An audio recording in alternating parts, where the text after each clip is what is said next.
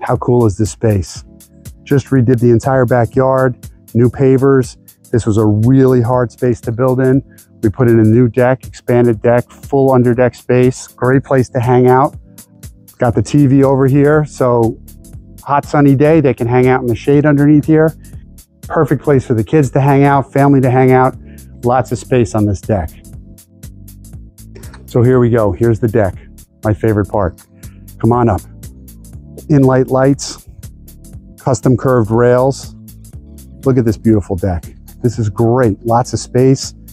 Black rail disappears into the background. And look at this gorgeous kitchen. The black and the stone and the granite really ties everything together. It looks really nice. Nice big table for 10 people here. All the friends over.